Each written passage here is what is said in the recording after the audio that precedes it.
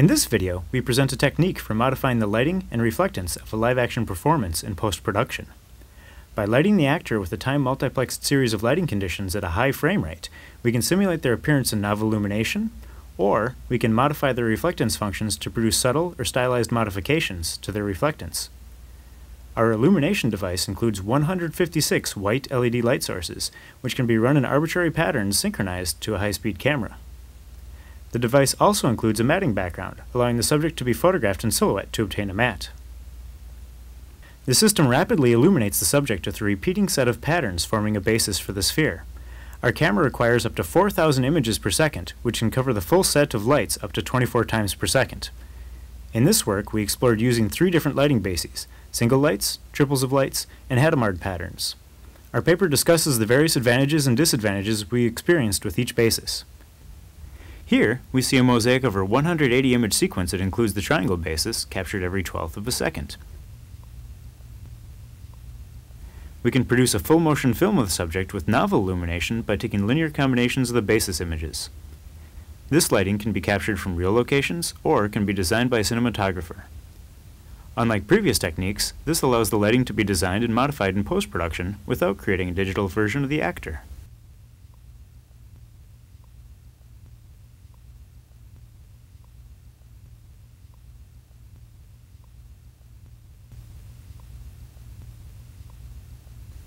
Since our subject moves during the basis, we need to align the frames using image warping. Failing to do this can produce image smearing, as seen in this non-motion compensated video. We detect and compensate for this motion using optical flow. Since performing optical flow between differently illuminated frames is difficult, we insert diffusely lit tracking frames at several times the target frame rate to improve the tracking results. To warp the images, we first compute optical flow between the tracking frames.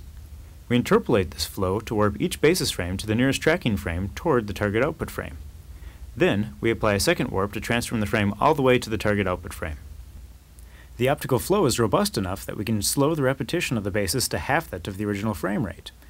We can then record shots that are twice as long and expose each frame with twice the illumination. Finally, we can use the flow to add an appropriate amount of motion blur to the output frames, in this case simulating a 180 degree shutter.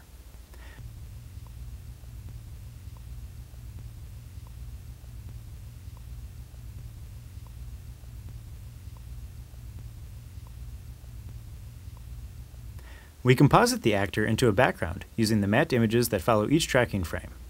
We compare the actor's image sequence to a clean plate sequence, letting us derive accurate alpha values and remove stray light from the background. Hey, faites attention à la crevasse là-bas. Hey, faites attention à la crevasse là-bas.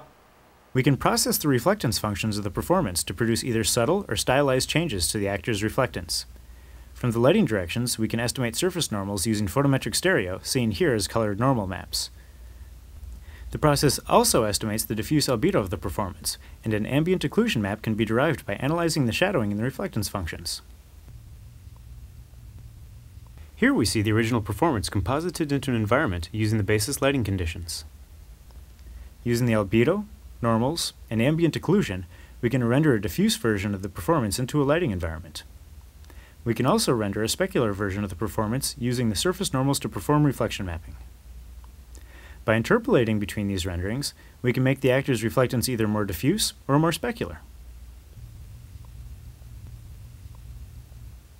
For more stylized rendering effects, the same techniques can be used to render the performance with a uniform diffuse albedo, metallic specularity, or other shading effects. Thank you. That means a lot coming from you. Hey, faites attention à la crevasse là-bas.